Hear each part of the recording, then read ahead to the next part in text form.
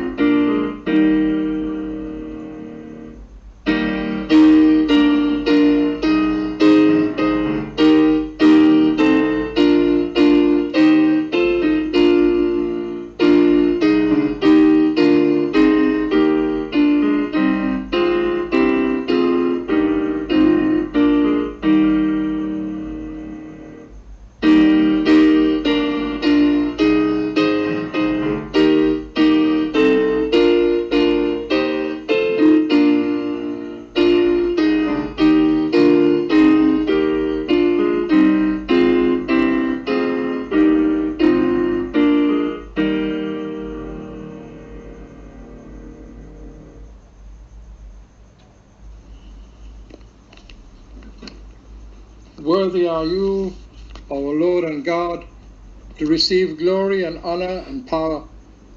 For you created all things, and by your will they existed and were created.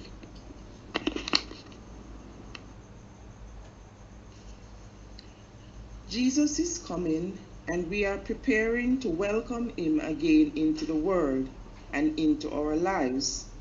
We light the Advent candles to celebrate the gifts we are given, gifts we can offer to others. Last Sunday, we lit the first candle in our Advent wreath, the candle of hope. We light it again and remember the Advent gift of hope. Isaiah paints a peaceful picture of God, the shepherd, feeding the flock. God lives and carries the lambs and gently leads the mother sheep. Peter reminds us of God's promise of a new heaven and a new earth where justice reigns. In Advent, be at peace and be patient, we are told. Today, we light the second candle of Advent, the candle of peace.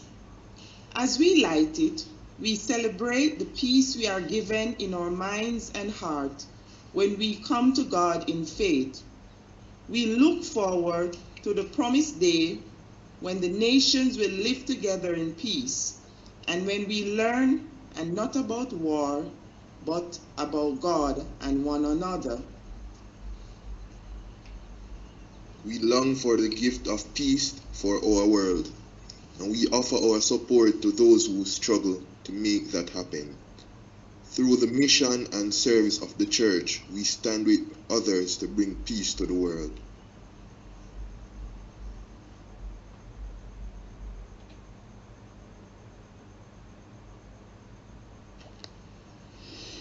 Let us pray.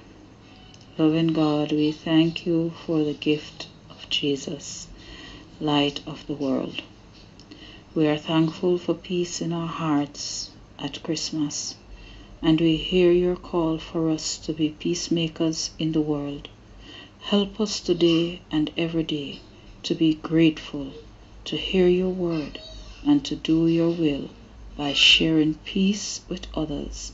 We ask it in the name of the one born again in our hearts. Amen.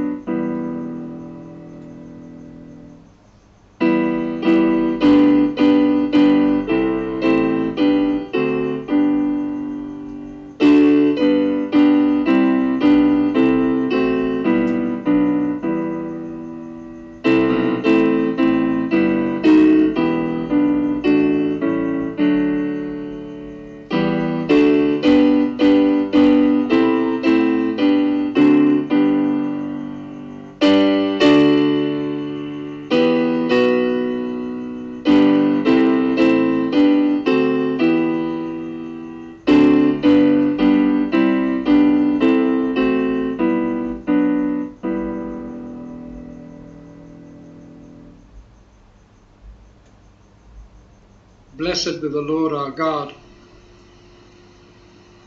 Blessed be his Son, Jesus Christ. Blessed be the Spirit of God.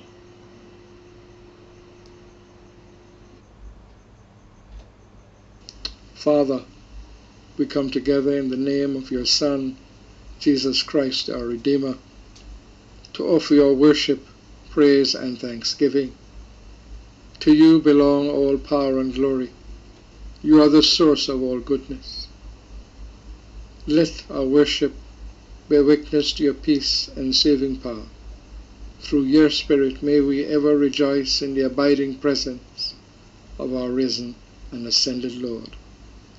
Amen.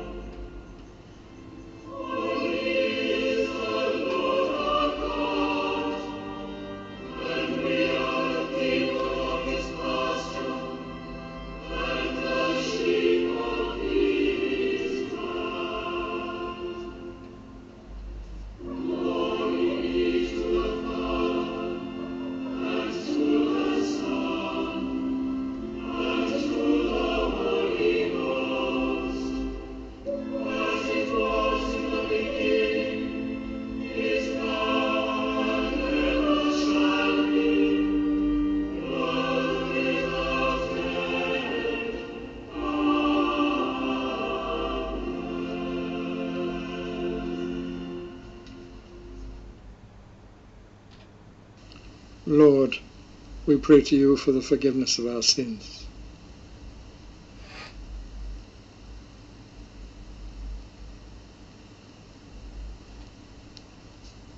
Have mercy upon us, most merciful Father.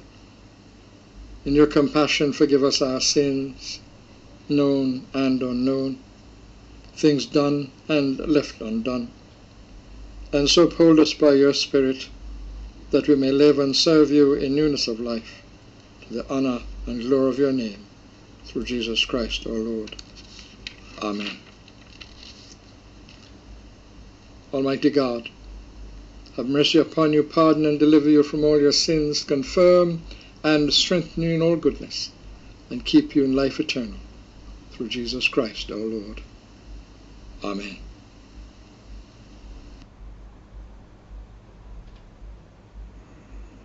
The psalm appointed for this morning is Psalm 85, reading from verses 1 to 2 and 8 to 13. You have been gracious to your land, O Lord. You have restored the good fortune of Jacob. You have forgiven the iniquity of your people and blotted out all their sins. I will listen to what the Lord God is saying, for he is speaking peace to his faithful people and those and to those who turn their hearts to him. Truly, his salvation is very near to those who fear him, that his glory may dwell in our land. Mercy and truth have meet together. Righteousness and peace have kissed each other. Truth shall spring up from the earth, and righteousness shall look down from heaven. The Lord will indeed grant prosperity, and our land will lead, yield its increase. Righteousness shall go before him, and peace shall be a pathway for his feet. Glory to the Father, and to the Son, and to the Holy Spirit, as it was in the beginning, is now, and shall be forever. Amen. A reading from the Word of God written in Isaiah chapter 40, reading from verse 1 through to 11. Comfort ye, comfort ye my people, saith your God. Speak ye comfortably to Jerusalem, and cry unto her, that her warfare is accomplished, that her iniquity is pardoned for she hath received of the Lord's hand double for all her sins.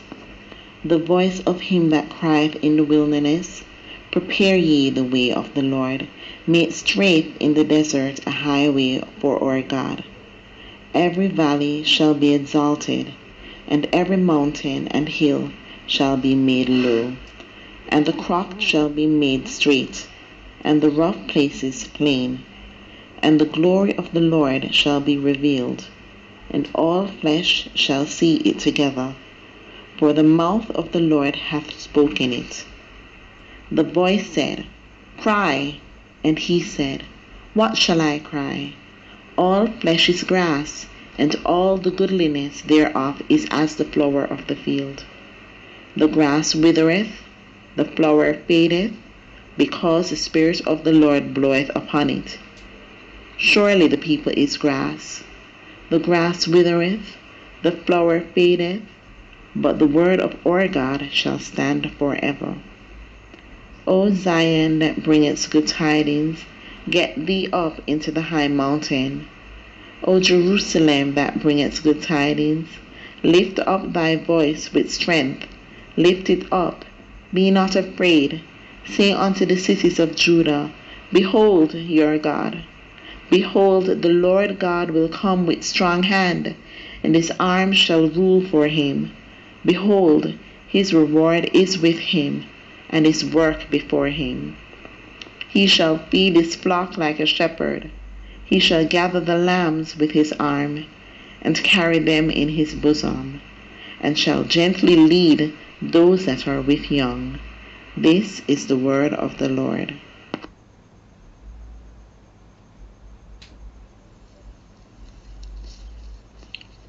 God's plan of salvation, found on page 56. Blessed be the God and Father of our Lord Jesus Christ, who has blessed us in Christ with all the spiritual blessings of heaven. God chose us in Christ before the world was made to be holy and blameless and to live by his love in his presence. God planned through Jesus Christ to bring us to himself as his children, that we might praise the glory of his grace, his free gift to us in the beloved. In Christ we gain redemption through his blood. Our sins are forgiven. How rich is the grace of God.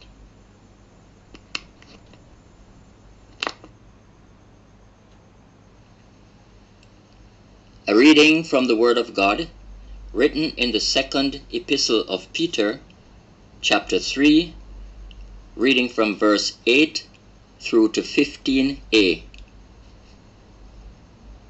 But, beloved, be not ignorant of this one thing, that one day is with the Lord as a thousand years, and a thousand years as one day. The Lord is not slack concerning his promise, as some men count slackness, but is longsuffering to usward, not willing that any should perish, but that all should come to repentance. But the day of the Lord will come as a thief in the night, in the which the heavens shall pass away with a great noise, and the elements shall melt with fervent heat. The earth also and the works that are therein shall be burned up. Seeing then that all these things shall be dissolved, what manner of persons ought ye to be in all holy conversation and godliness? Looking for and hasting unto the coming of the day of God, wherein the heavens being on fire shall be dissolved, and the elements shall melt with fervent heat?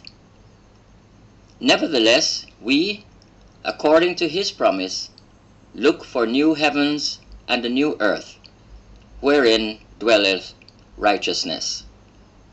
Wherefore, beloved, seeing that ye look for such things, be diligent that ye may be found of him in peace, without spot and blameless and account that the long suffering of our Lord is salvation.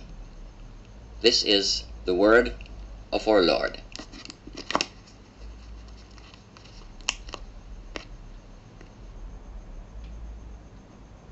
The gradual hymn, immortal, invisible, God only wise.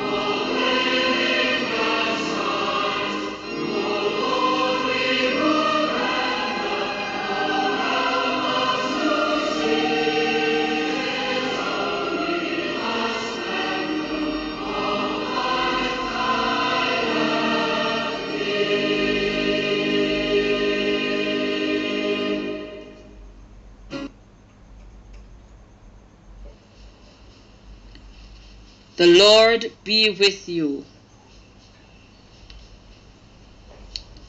A reading from the Holy Gospel according to Mark, chapter 1, beginning at verse 1. The beginning of the Gospel of Jesus Christ, the Son of God.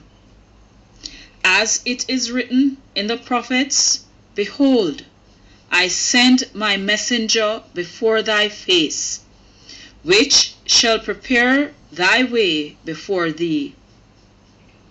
The voice of one crying in the wilderness, Prepare ye the way of the Lord, make his paths straight. John did baptize in the wilderness and preach the baptism of repentance for the remission of sins. And there went out unto him all the land of Judea and they of Jerusalem, and were all baptized of him in the river of Jordan, confessing their sins. And John was clothed with camel's hair, and with a girdle of skin about his loins. And he did eat locusts and wild honey, and preached, saying, There cometh one mightier than I after me, the latchet of whose shoes I am not worthy to stoop down and unloose. I indeed have baptized you with water, but he shall baptize you with the Holy Ghost. The Gospel of our Lord Jesus Christ.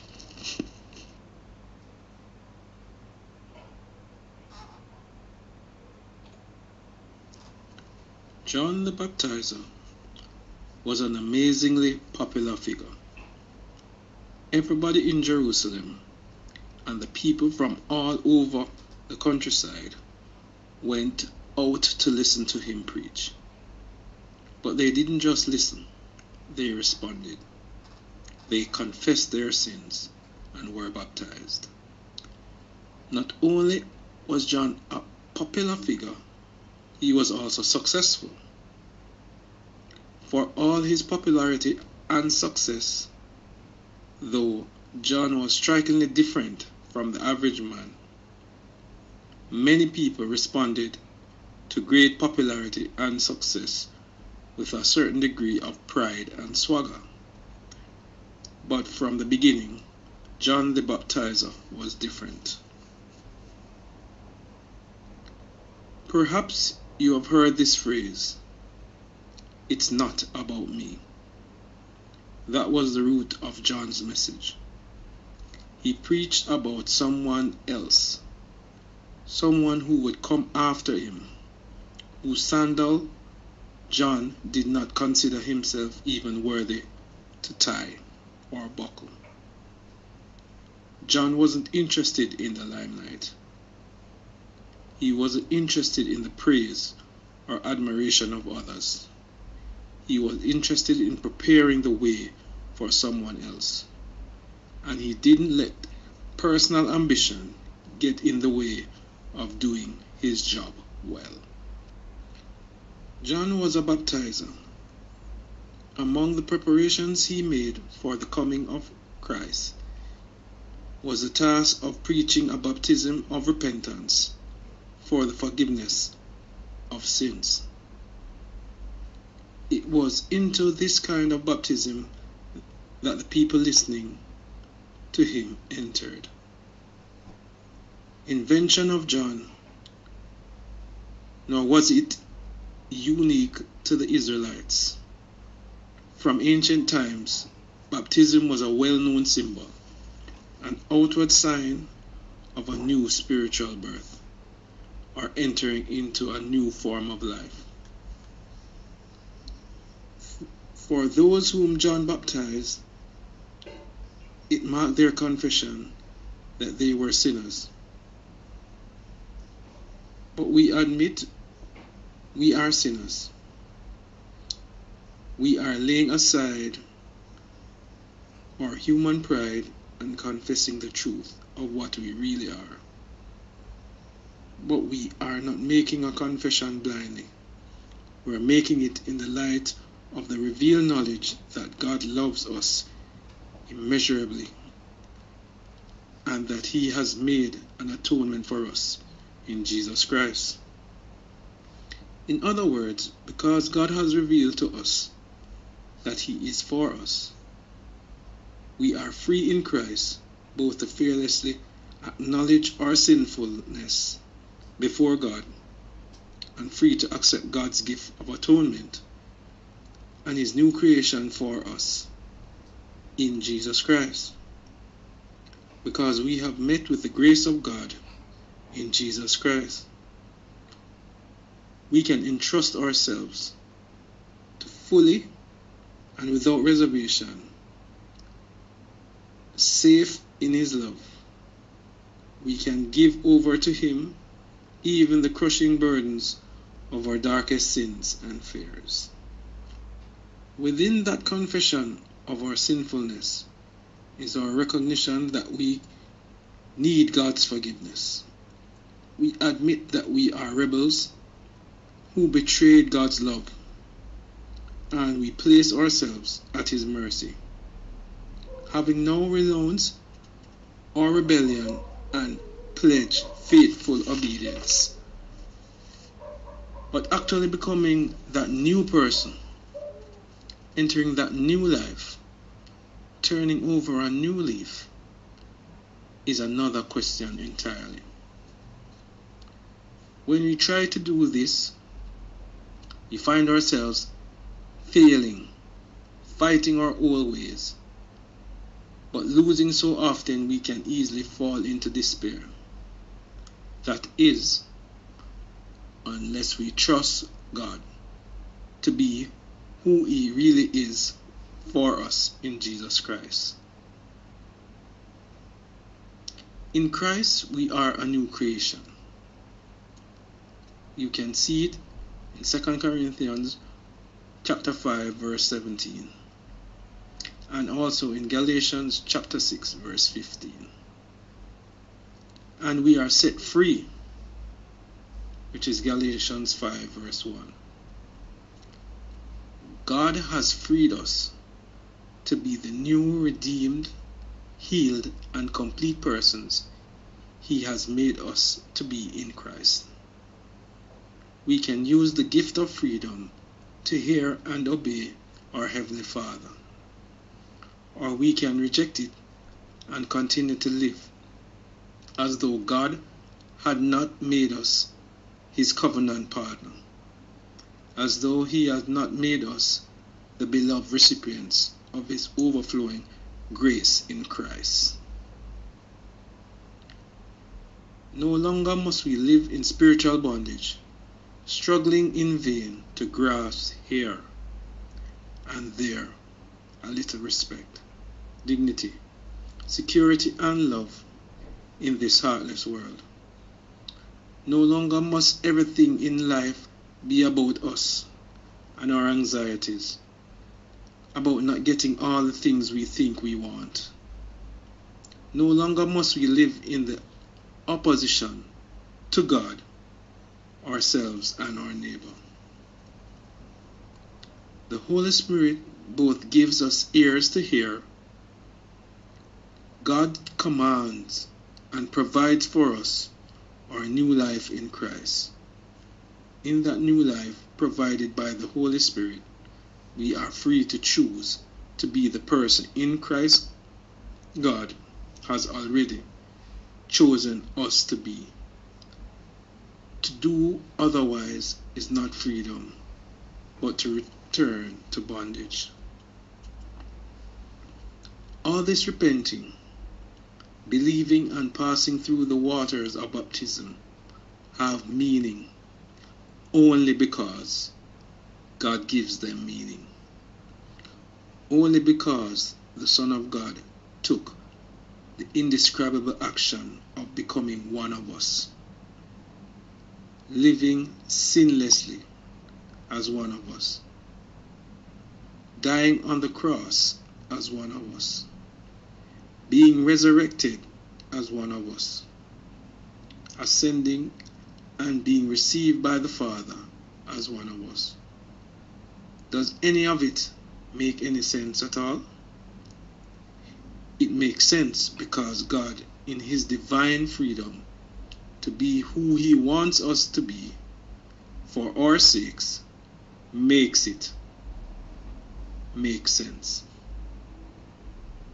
We are saved by God's grace. His love, His utter faithfulness to His redemptive purpose for the humanity He loved so much that in Christ He took humanity itself into Himself.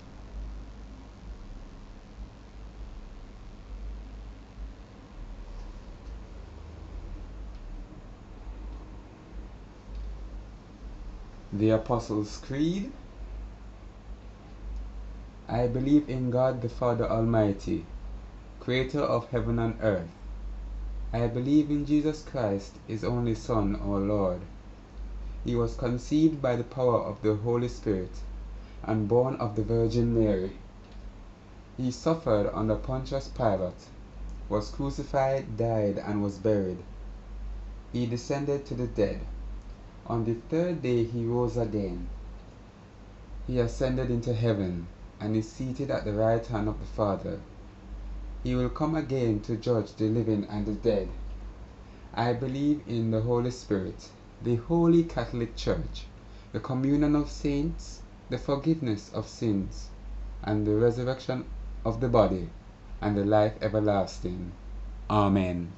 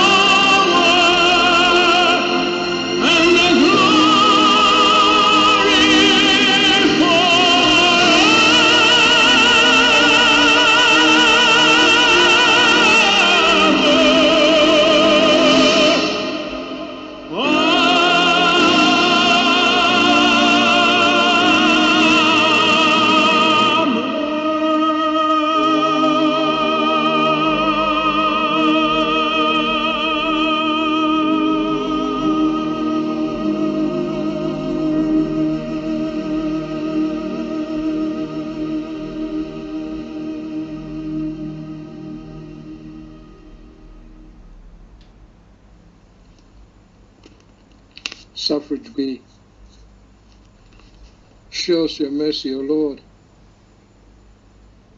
Clothe your ministers with righteousness. Give peace, O Lord, in all the world. Lord, keep this nation under your care. Let your way be known upon earth. Let not the needy, O Lord, be forgotten. Create in us clean hearts, O God.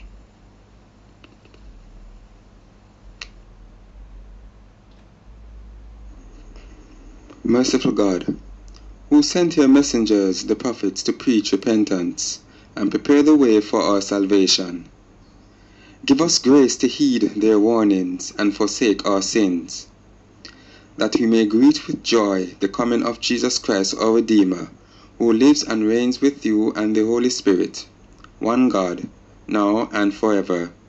Amen.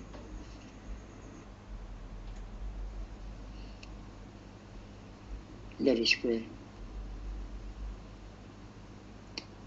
Faithful Father, thank you that you give the gift of abundant eternal life. You have said that you are a good Father who gives us good gifts. Your generosity overflows to us. Everything we have is a gift from you. As we bring our offerings to you, we give back to you from the abundant blessings you have given us. May our gifts be acceptable in your sight, O Lord our God. Blessing and glory, wisdom and thanksgiving, honor and power and strength be unto you, our God, forever and ever. Through Jesus Christ, our Lord. Amen.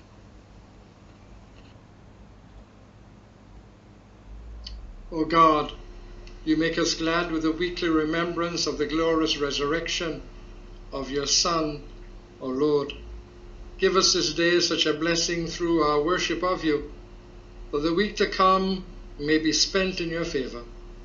Through Jesus Christ, our Lord. Amen.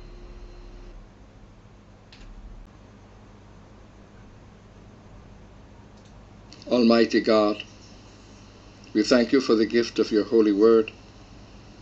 May it be a lantern to our feet, a light to our paths, and a strength to our lives. Take us and use us to love and serve all persons. In the power of the Holy Spirit, in the name of your Son, Jesus Christ, our Lord. Amen. The Spirit of truth lead you into all truth. Give you grace to confess that Jesus Christ is Lord and to proclaim the word and works of God. And the blessing of God Almighty, the Father, the Son, and the Holy Spirit be among you and remain with you always. Amen.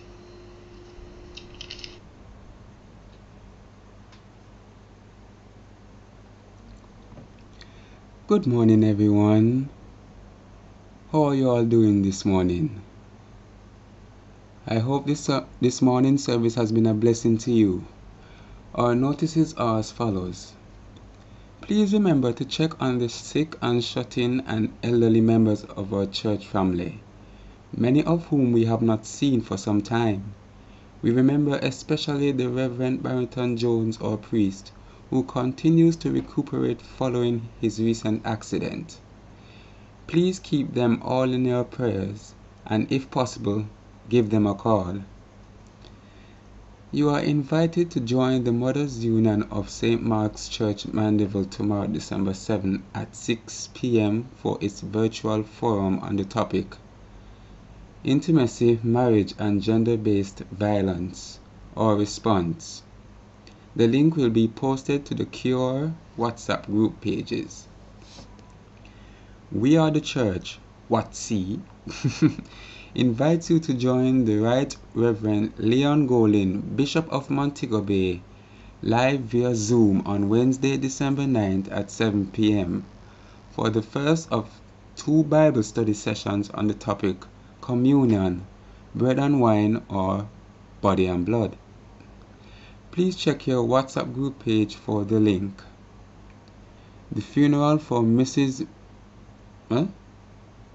Maisie Stanley, a dear friend of St. Boniface, will be streamed live tomorrow, Monday, December 7 at 10 a.m. The link will be posted to the St. Boniface WhatsApp group page.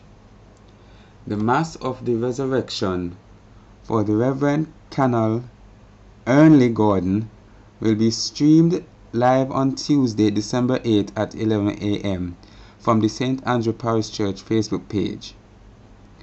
You are reminded to tune in this afternoon at 4:45 p.m. to think on these things on Radio Jamaica 94 FM and to listen to Love 101 FM radio at 6 p.m. for the rebroadcast of this morning's service from the St. Andrew Parish Church. Finally, our Cure Carol service will be held next Sunday, December 13 at St. Boniface Church starting at 5 p.m. Please join us in church or online as we relive the joyful events surrounding the birth of our Lord Jesus Christ. Our birthday are as follows for December 6 to 12.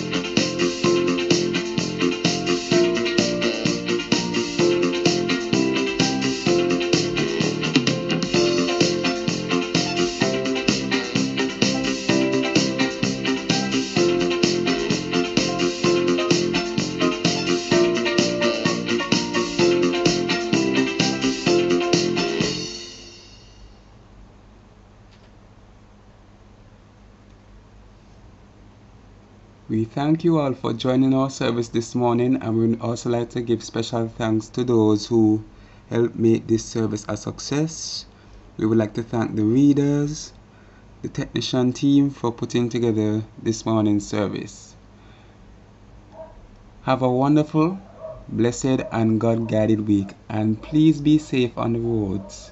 Be mindful of the taxis that you are taking since you are hearing that they are abducting people. Please be careful on the roads. Our closing hymn Lord, thy word abideth.